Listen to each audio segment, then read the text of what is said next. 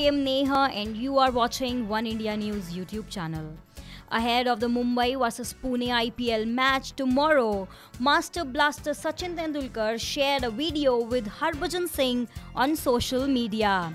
See what they had to say after the practice session of Mumbai.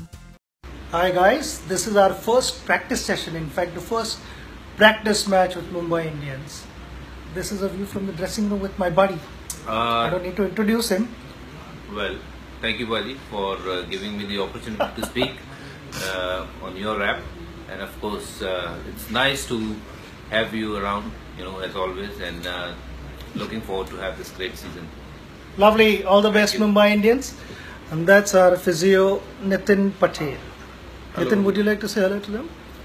Who's this? All your fans! Alright, guys, see you. Bye bye.